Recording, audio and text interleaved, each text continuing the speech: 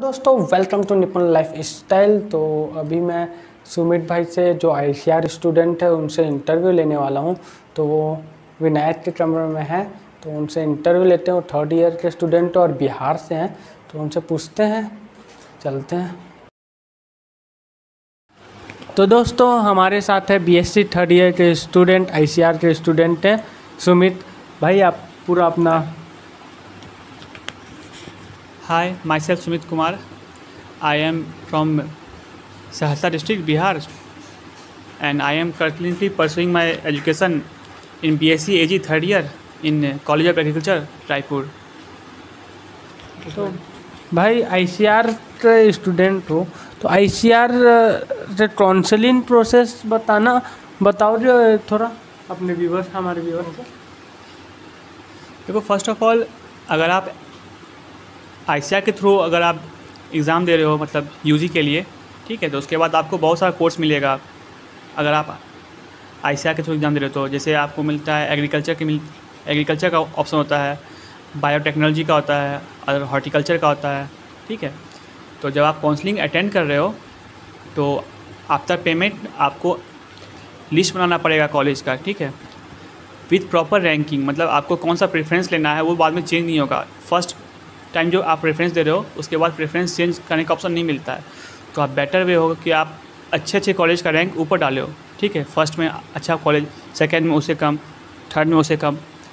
और आई में अगर आपको एग्रीकल्चर में लेना है तो सबसे बेस्ट आपको पता है जहाँ तक कि जीबी पंत है। आप तो डायरेक्ट जी पंत के अलावा पीएयू ले सकते हो आप। पंजाब का एग्रीकल्चर कॉलेज है, गुजरात का एग्रीकल्चर कॉलेज है, और लखनऊ का है, छत्तीसगढ़ का हिसार है। आप तो डायरेक्ट रायपुर भी अच्छी कॉलेज है। ठीक है। और आईसीआर की तो ये तो काउंसलिंग की बात हो रही है। अगर अब बात करें आईसीआर की तैयारी की तो आईसीआर की तैयारी और आईसीआर का कितने नंबर का एग्ज़ाम होता है आईसीआर की तैयारी कैसे करें ये थोड़ा बता सकते फ्रेंड्स आईसीआर का अगर आप तैयारी कर रहे हो तो देखो उसका प्रिपरेशन अलग नहीं होता। अगर आप बायो पीसीबी से हो तो अलग नहीं होता।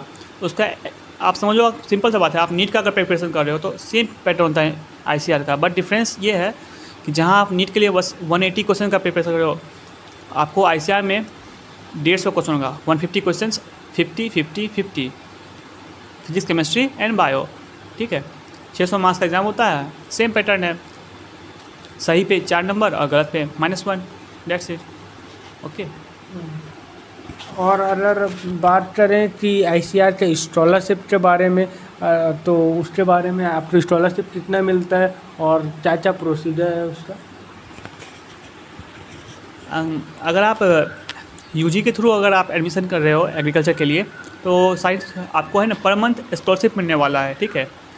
एक N T S N T S है उससे आपको स्कॉलरशिप मिलता है नेशनल टैलेंट स्कॉलरशिप उसके अकॉर्डिंग आपको पर मंथ थ्री थाउज़ेंड मिलेगा जो कि एक बल्क अमाउंट में कभी कभी सिक्स मंथ कभी कभी पूरे एक साल का आता है। कभी छत्तीस हज़ार आएगा अगर सिक्स मंथ का आए तो अट्ठारह हज़ार रुपये आएगा।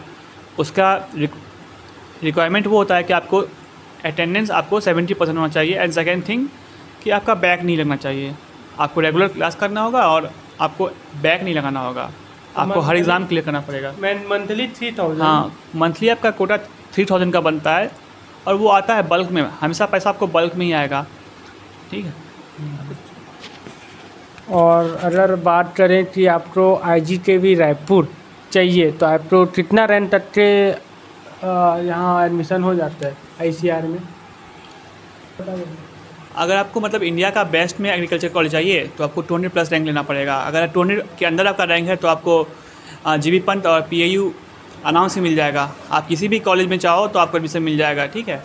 और अगर आपका अगर आप एवरेज स्टूडेंट हो तो आप सिक्योर्ड हो। अगर आप फिफ्टीन हंड्रेड प्लस पे भी रैंक में हो अगर आप जनरल ओबीसी हो तो आप सिक्योर्ड है। आपको रैंक मिल मतलब फ़र्स्ट टाइम में जो मिलेगा प्रेफरेंस के हिसाब से वो मिल जाएगा आपको। बट बेटर आपके पास ये होगा, सबसे बेस्ट एडवाइस ये है कि आप अपना, जब काउंसलिंग के टाइम में जब कॉलेज हो तो वो हिसाब से ना कि फ़र्स्ट में बेस्ट है। हमको फ़र्स्ट में यही चाहिए फिर सेकेंड में वो जहाँ कंप्रोमाइज़ कर रहा है वहाँ धीरे धीरे आपको रैंक उतारना पड़ेगा। ठीक है? इस टाइप के साथ एग्रीकल्चर लेने का। उसके अलावा आपको फ़ीस भी देखना पड़ेगा। जैसे फॉर एग्जांपल अगर आप मिडिल क्लास से हो तो जीबी पंत का कॉलेज का फ़ीस ही फिफ्टी फोर थाउज़ेंड के आसपास है। तो आपको उस हिसाब से मिला चलना पड़ेगा। ठीक है? और आई जी के भी तो फ़ीस बी एस सी में कितना है? सिक्स थाउज़ेंड हाँ आई जी के बी में देखो सिक्स टू सिक्स थाउज़ेंड अपना है। बासठ सौ रुपये के आसपास, ठीक है? हाँ। तो साल भर का दो सेमेस्टर मिला के कितना? बारह हज़ार के आसपास में निपट जाओगे। बट अगर आप अच्छे कॉलेज में जा रहे हो, जैसे हिसार का हो गया तो वहाँ कॉलेज की फ़ीस है बीस हज़ार के आसपास है। हाँ आपके पास स्कॉलरशिप भी होगा, साल का छत्तीस हज़ार। उस हिसाब से देखना पड़ेगा आपको। और ये हाँ तो I G T V campus का मैं वीडियो डाल चुका हूँ। अगर आप I G T V campus का वीडियो नहीं देखे हो तो आप देख सकते हो। मैं पूरा वहाँ अपना आई जी टी वी का कैंपस डाल चुका हूँ।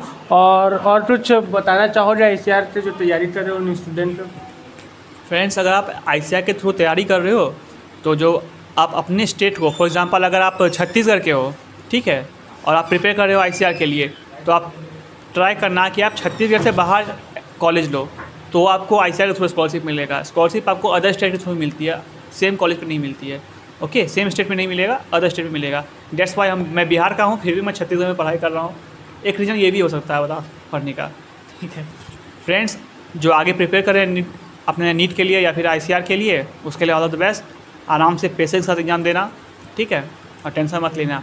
नेगेटिव थोड़ा सा कम करना तो आपका रैंक बहुत बूस्ट करेगा। ठीक है? ऑल द बेस्ट अरे चलो फिर ना। तो थैंक यू भाई, अब आज के वीडियो तो यहीं पे करते हैं, ख़त्म दोस्तों। तो मेरे वीडियो तो कर देना। लाइक चैनल तो कर देना सब्सक्राइब और बेल आइकन याद से दबा देना। तो जय हिंद दोस्तों। चुका हूँ।